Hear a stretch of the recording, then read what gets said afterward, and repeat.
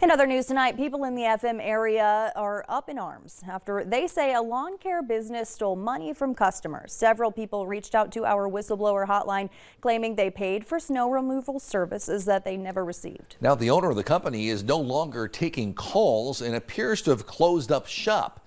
Valley News Team's Reed Gregory tells us more.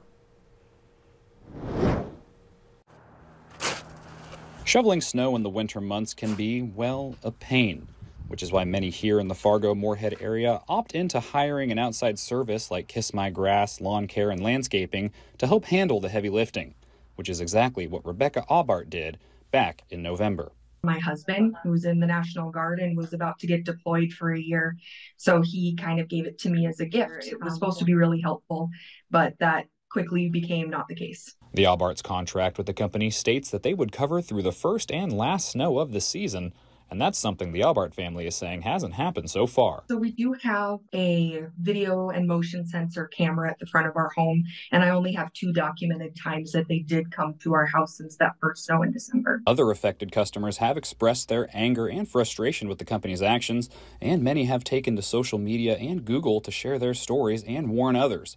One customer stated he was scammed for $1,800, and another customer stating in a review just two weeks ago that his widowed sister hired the company after her husband had passed away, and they have not removed snow during the last two storms and are now no longer responding to phone calls or text messages. Now, the Better Business Bureau states on their website they take reports and complaints like this very seriously and, in most cases, advise the victim to take legal action if necessary.